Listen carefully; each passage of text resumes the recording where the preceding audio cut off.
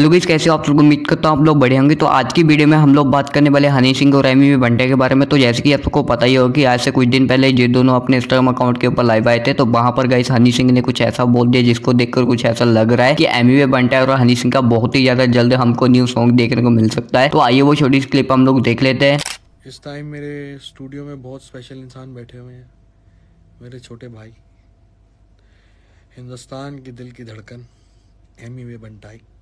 ये तो राइम भी हो गया भाई। ये तो राइम भी हो गया। क्या बोलते पब्लिक भाई के साथ full international villager two album पे काम चालू है। और बहुत कुछ आ रहा है अभी बता नहीं सकते बाकी। तैयार रहने वाला शॉट है क्या? मैं एमी वे भाई के साथ काम इसलिए करना चाहता था क्योंकि बातों की बातें हैं।